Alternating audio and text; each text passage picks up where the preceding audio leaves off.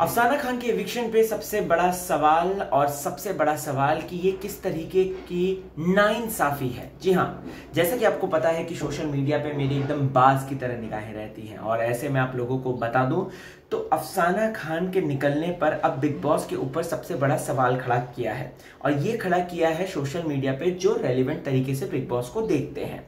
उन्होंने बोला है, आइए इस वीडियो में आपको बताता हूँ कि अफसाना के एविक्शन पे क्या बड़ा सवाल खड़ा किया है।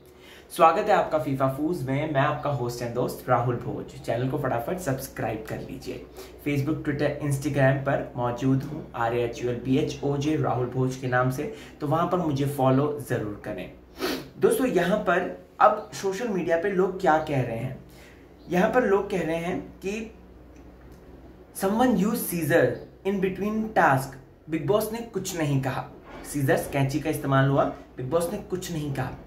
Someone picked knife Bigg Boss ने आउट ऑफ़ द हाउस कह दिया just to save your favourite celebs image you stop to low this time तो यहाँ पर दोस्तों, लोगों ने सवाल खड़े कर दिए हैं कि आपने अपने फेवरेट सेलिब्रिटी की इमेज को बचाने के लिए अब इस तरीके के हथकंडे अपनाए हैं।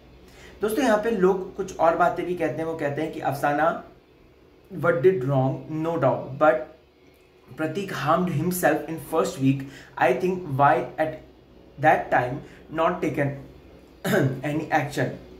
Why not taken against Karan and Simba on biggest rules violation? And even someone self harm himself by breaking the glass. एक और फिर मतलब लोग कंटिन्यूसली बिग बॉस के इवेंट्स निकाल रहे हैं कि देखो ये ये चीज़ें हुई थी ये ये चीज़ें हुई थी दोस्तों आपका क्या रिएक्शन है इस बारे में क्या आपको भी लगता है कि बिग बॉस ने इमेज संभालने के लिए ये सब चीज़ें करी हैं। कमेंट करके ज़रूर बताएँ। चलता हूँ, अपना ख्याल रखें।